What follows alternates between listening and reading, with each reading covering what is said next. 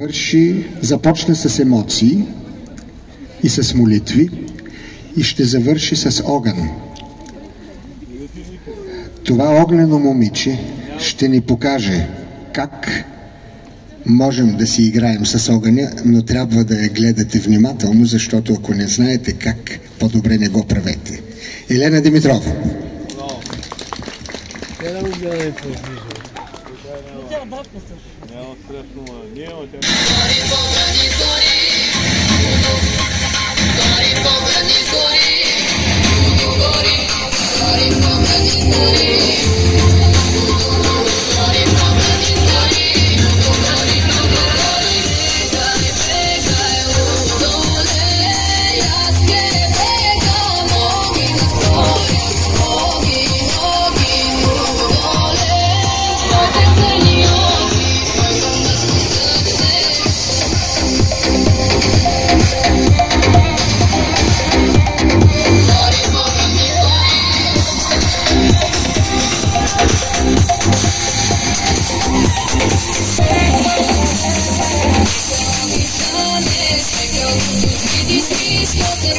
Thank you.